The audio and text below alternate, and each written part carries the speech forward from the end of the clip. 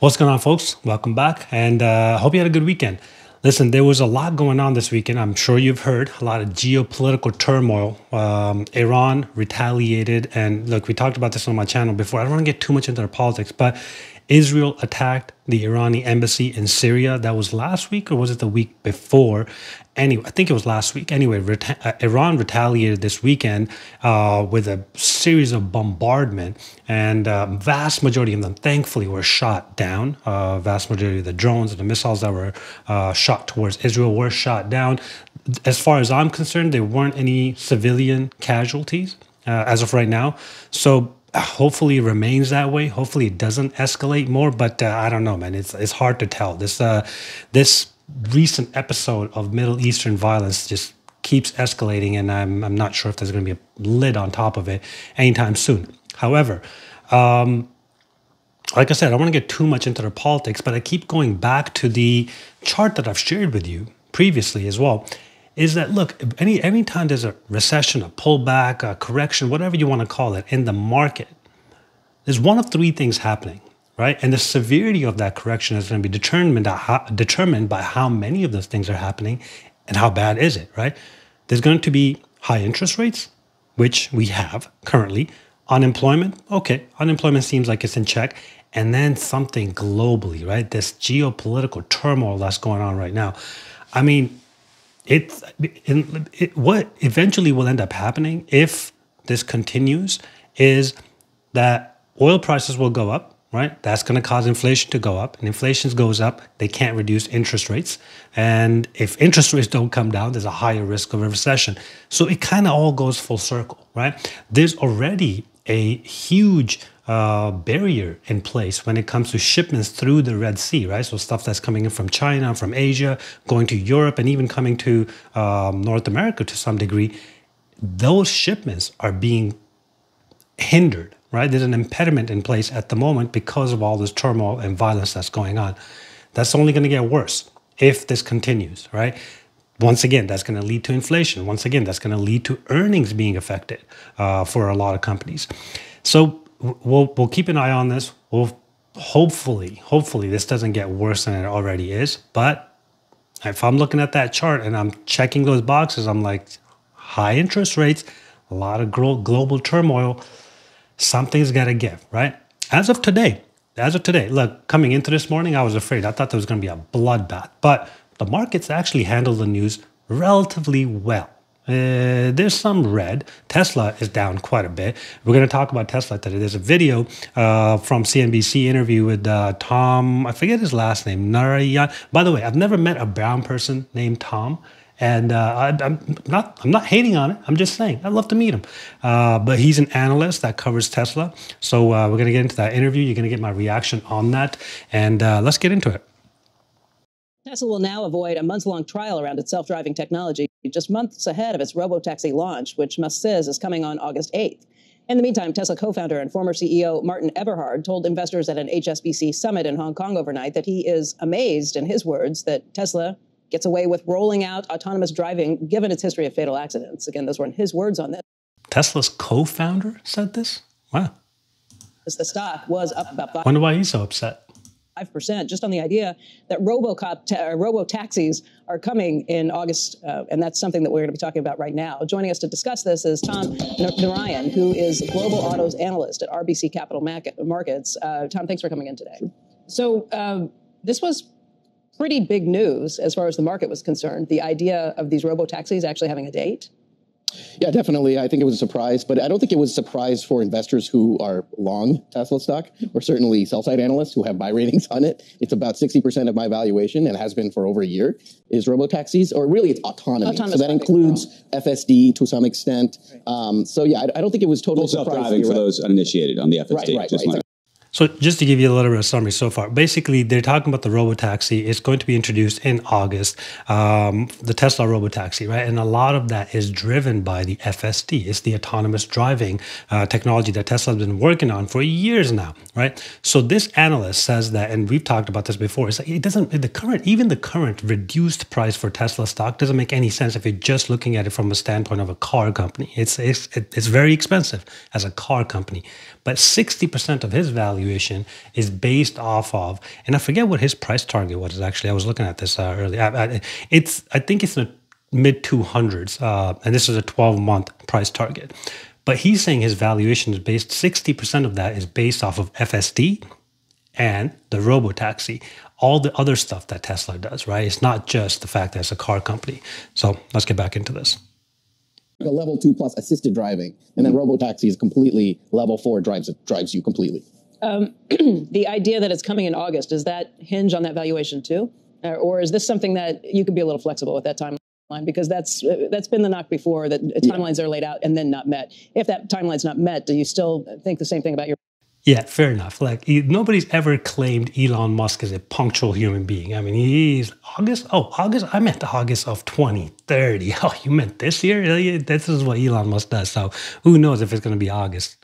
Evaluation call. Yeah, I do. I mean, my valuation is based on a 2040 year uh, revenue oh, target, wow. and then I discount that back and I apply a multiple there. Similar to FSD, which is like a 2030, 2035. Mm-hmm. I mean, if it's August 8th, 2024, if it's next year, I mean, robotaxis aren't going to be mainstream for a long while. Right. I, I do see why he's doing it, where, I mean, he's trying to highlight the value of, that this could bring. It's, I mean, it's huge, right?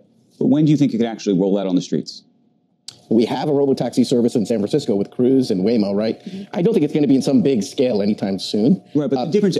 So we've talked about Waymo in uh, on my channel before, um, and there's also Cruise. So what they're doing is they're running these trials in, in, in, different cities. In San Francisco seems to be the hot spot where they start the uh, the trials. Uh, Waymo now is also in LA. I think I'm not sure if the Robo Taxi is, and I'm not sure if Cruise is here in LA. But they're in, they're in a few different cities. I think Austin is one of them, Phoenix, San Francisco. So the Robo Taxis currently are operational in San Francisco. It's like a trial run. Same with Waymo. Actually, Waymo started charging customers for the first time. Uh, I think I saw this uh, headline last week. So yeah, there's there's that. I mean, the difference. I, I, am curious if you agree with this. There is a view among those in the sort of engineering community that the reason why the Waymo um, and Cruise products work is because they use lidar right now. I, I, you roll your eyes, but I'm just saying this is this is the whole thing. Lidar, by the way, is effectively like a laser point at different places um, and gives you feedback about what's actually around you. Elon has decided he wants to do this solely with cameras uh, and without the radar. It's just a completely different approach. And as a result, there are some people who have a view that that is not fully ready for full prime time, you know, uh, full, full self-driving. And that's the whole question. And so my that that's that's an inaccurate view. If anybody has that view, that's an inaccurate view. First of all, listen, you've seen you've I've showed you a picture of what a Waymo vehicle looks like. It's got these crazy radars and cameras and all this stuff. Every it, it, it's it's not even comforting. I wouldn't want to step into that because it looks like an unfinished product. First of all, uh, okay, if uh, if somebody told me that that is an extremely extremely safe vehicle to be in, way better than a Tesla, I would say okay, sure then I would take that risk or I would prefer it over a Tesla. But that's not the case. That's not the case. We Waymos get into accidents all the time. Cruise gets into accidents as well. It's not. You have to compare apples to apples. You can't just say, "Oh, because this one's using a camera and that one's using lidar is better."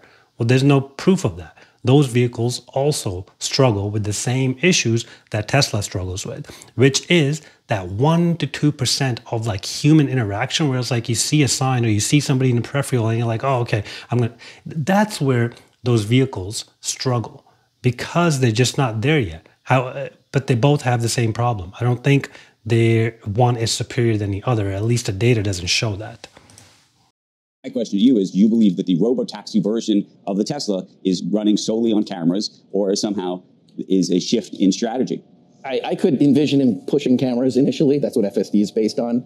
Could he capitulate on that and pivot towards using LiDAR eventually? Sure right? I mean, he's changed his mind before. Well, that's a, that's a long yeah. though, just in terms of getting things out on the street. If you're yeah, I mean, it could depend on where we have this product. Is it geofenced? What cities? Where is it? You know, initially. But at mass scale, we've heard Mobileye is a company that has uh, a product that's building with VW, the, the ID Buzz, that uses LiDAR. So, I mean, we'll see. It adds a layer of redundancy. Theoretically, it's not 100% necessary. Um, but yeah, it depends. You'll have to re engineer cities to make this work in the future.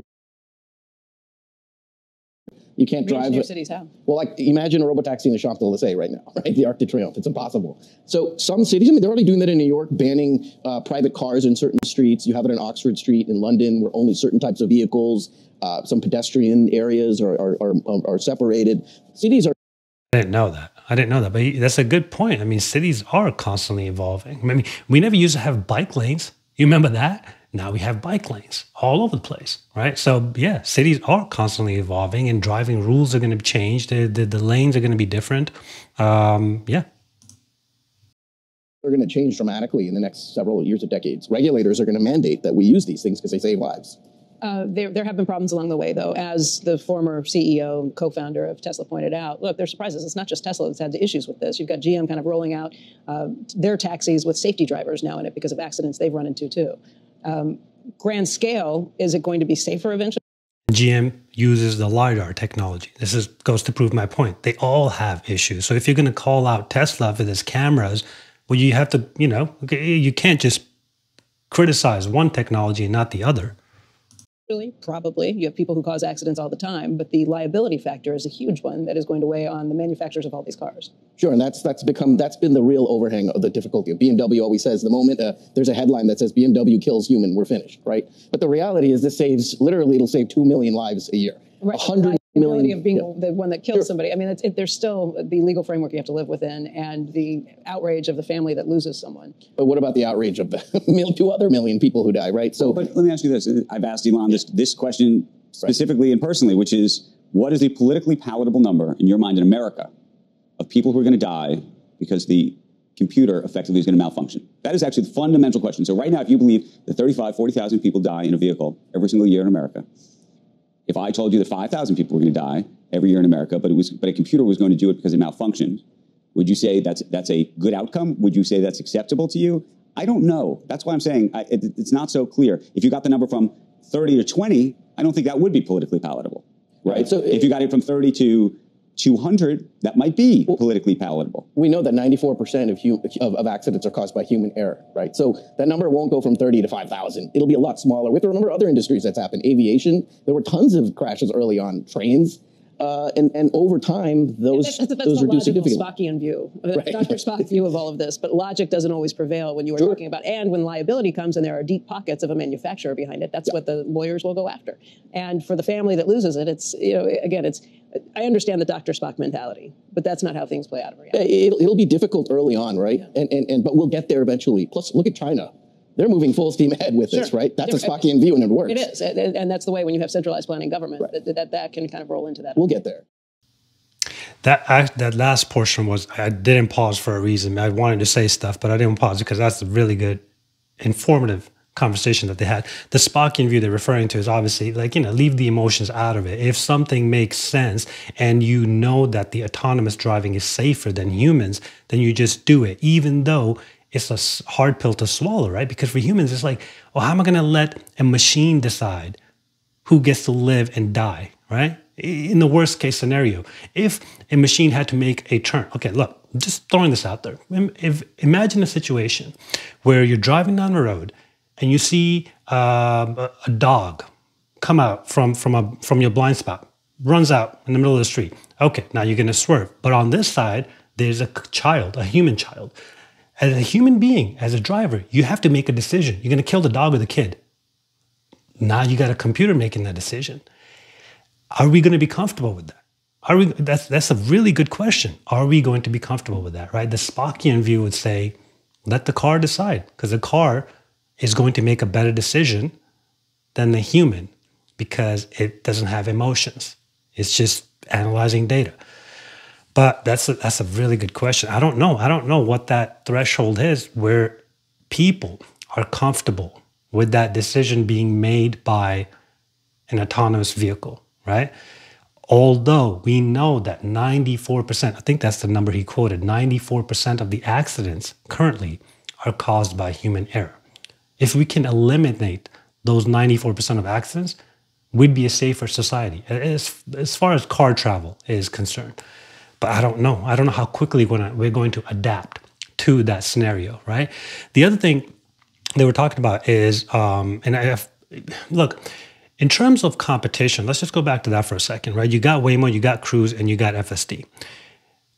In my opinion, as I'm thinking through this, who's going to have a better vehicle? Who's going to have the most capable technology five years from now? And by the way, we haven't even talked. I don't know. This this uh, video is a couple of days old, but I was reading up on this uh, over this weekend. FSD subscription is now available for $99. It used to be $199. I talked about this on this channel that if they just made that a little cheaper, more people will be willing to sign up for it. We'll see if that works. But dem- the demos are being pushed, right? Uh, right when people pick up their new Tesla, they have to go to this demo thing. Well, they don't have to, but the, they're being emphasized. Um, there's there's free uh, demonstration or trials for the FSD. The subscription price is coming down to $99, has been cut in half, right? All this leads to what? More people signing up for FSD, more miles. And this is how AI works. The companies that are going to benefit from AI are the ones that have the largest amount of data set. That's how AI works. It analyzes data and it improves based off of that. Who's going to have the most amount of miles driven? Waymo, Cruise, or Tesla? How many people drive a Tesla?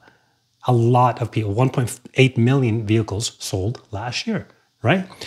So if all those miles are being put on, that's a lot of data that's being collected by Tesla. FSD and and the Tesla uh, autonomous technology. Let's just call it that because I'm pretty sure the FSD is, what they're using in um, the uh, uh, in the robo taxi as well. That's level four, like you said. The level two is what we currently have in the FSD. But the more miles people put on that, the more data AI has to improve its technology and improve the way it drives. So I think the learning curve for Tesla is going to be steeper than the rest of the competition just because they're going to have a lot more data to go on. They're going to have millions of miles uh, driven by consumers. That's that's my guess, right? I, I, think that's to me logically makes sense. Um, but yeah, anyway, this is this is this is big news. There is this robotaxi thing that's going to be introduced. Well, we'll see. They're saying it's going to be August of this year, and I think he's right. I think Mr. Tom is correct. He's saying that we're not there yet the, the robo taxis are not going to be rolled out fully uh, this year. The reason why Elon Musk is pushing for that this year in August is because he wants to showcase the technology. Because there's a lot of people out there that are saying, well, this is a pipe dream. It's not going to work. And what he wants to do is he wants to showcase it and say, look, look, we're, we're not there yet, but we're very close we'll keep an eye on that. I thought that was interesting news for uh, for all the Tesla investors out there, uh, like myself. But anyway, I'll catch you guys tomorrow, and I uh, hope you have a good one. Thank you. Bye.